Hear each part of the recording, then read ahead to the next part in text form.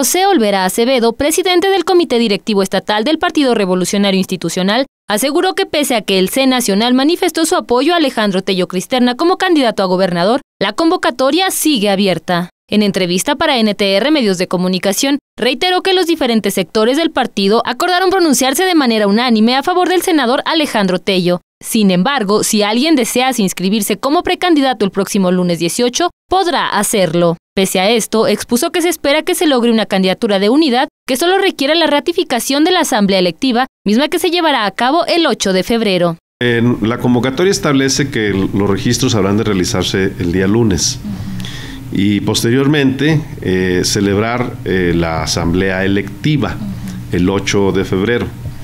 Bueno, entonces quienes se registren tendrán la oportunidad de participar en la asamblea electiva que habrá de celebrarse el día 8 de febrero. La convocatoria está abierta, la convocatoria está abierta para que se registren los compañeros que deseen y que desde luego cumplan los requisitos. Una vez que se registran tendrán que pasar a, revisión sus documentos y tendrán que cubrir las dos etapas previas.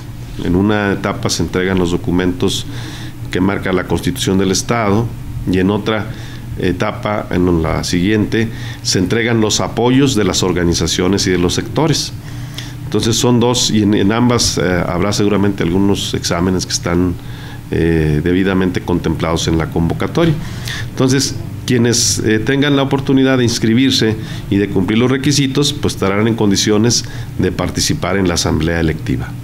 Por su parte, mediante un comunicado de prensa, el alcalde de la capital, Carlos Peña Vadillo, quien había manifestado sus intenciones de encabezar la candidatura, celebró el anuncio del Comité Ejecutivo Nacional. Felicito a mi amigo Alejandro Tello por tan importante designación. Como se lo expresé hace unos minutos, estoy seguro que será un abanderado con el valor, la convicción y el compromiso para lograr la meta que en conjunto nos trazamos, dijo. De igual manera lo hizo Adolfo Bonilla Gómez en redes sociales al manifestar mi felicitación y respaldo a mi amigo Alejandro Tello. No tengo duda que será un gran candidato y gobernador de Zacatecas. Por su parte, el alcalde de Guadalupe, quien aspiraba también a la candidatura, escribió en la red social Facebook, Un solo equipo por Zacatecas, juntos hacemos más. Por lo que habiendo manifestado su apoyo, solo resta que Tello Cristerna se inscriba el próximo lunes y a su vez sea respaldado por la Asamblea el próximo 8 de febrero para que oficialmente se convierta en el abanderado de la coalición del PRI con el Partido Verde Ecologista de México y el Partido Nueva Alianza.